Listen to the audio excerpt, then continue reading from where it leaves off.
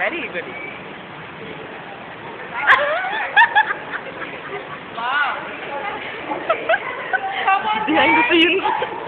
Enough of Vegas,